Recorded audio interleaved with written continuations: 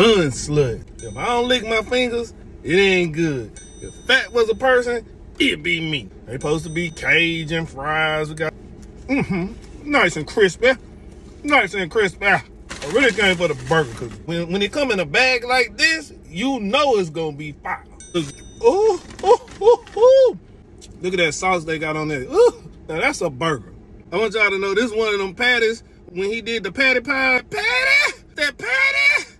Taste that thing though. Mm. Oh my God, look at him. Hmm. I ain't gonna hold you. Who don't love a good burger? It's nice, it's not too greasy. The cheese is good, the bread is excellent. Woo! Patty! But this just might be the best burger I ever had. Bun Slug, Galleria area, Chimney Rock. Out of a 10, 10 out of 10.